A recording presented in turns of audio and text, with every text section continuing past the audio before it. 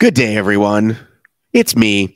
Yesterday, we put out an article in response to the Wall Street Journal's garbage article on Spartan Race.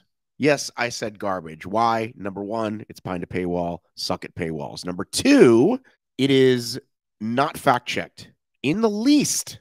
If you're going to make bold statements like they made, you got to have, I don't know, one fucking fact correct. Remember, I, I don't carry water for Spartan. I'm the first to say they have a lot of people working there who aren't very good at their jobs, who don't understand the sport, who don't understand the difference between marketing and PR, who uh, make pretty silly decisions, who aren't in touch with their customers, a lot of things. But I won't allow this bullshit to stand. So let's pull up. I had to fucking go to Reddit.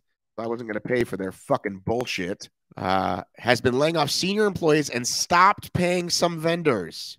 Okay stopped paying some vendors. That's a huge statement, right? Fuck, they're not paying people. But what's the next set of words?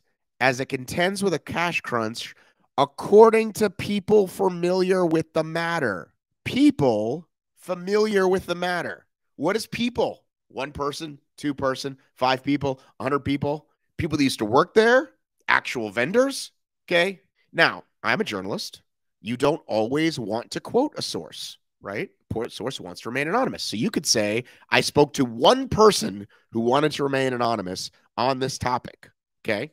Or I spoke to a few. Okay. People, cocksucker.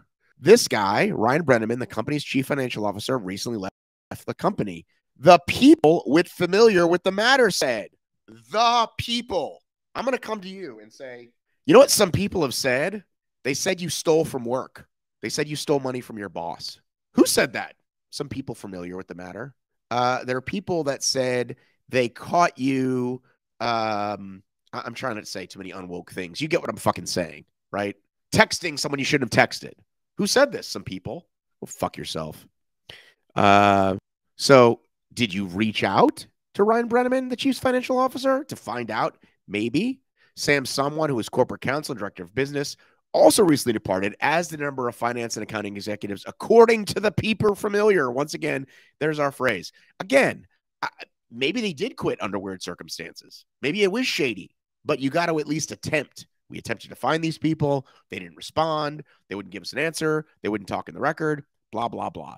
Stop paying vendors. Okay, this is the this is the big one I'm hung up with. Okay, now we are aware. Again, it's so so. First, you got the some people. Okay, who we don't know. Then it's some vendors. How many vendors? What are they owed?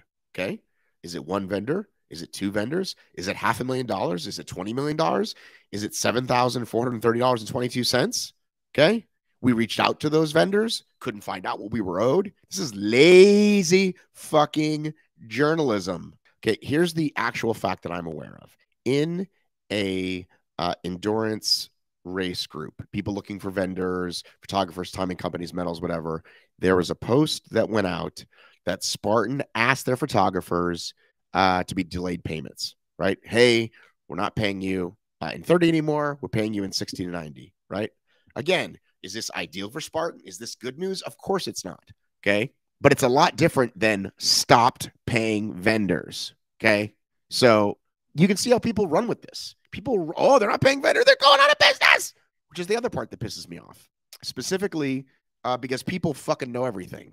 Okay, people know. Well, I know. Yeah, they won't be around in two years. Mark my words. Everybody's a fucking know-it-all. And what what really has me know how people are fucking know-it-alls and talk out of their ass is a couple of years ago, Spartan and Tough Mudder were going through what they were going through. Right? People had a lot of opinions about that. Okay, I happened to be behind the scenes on all of it. Okay. I was talking to Spartan. I was talking to Tough Mudder. I was talking to Active. I was talking to the guys that were bringing the suit to Spartan. Most of the stuff all behind the record, all off the record, all behind the scenes. And then I was able to write articles based on uh, what facts I had. Now, I'm not saying this that I did have the information. I'm saying that people were writing on the internet that they knew the answer when they didn't. Oh, I used to work there and I know for a fact XYZ. Or I'm talking to people who work there. I know for a fact this is what Will Dean is really doing, XYZ.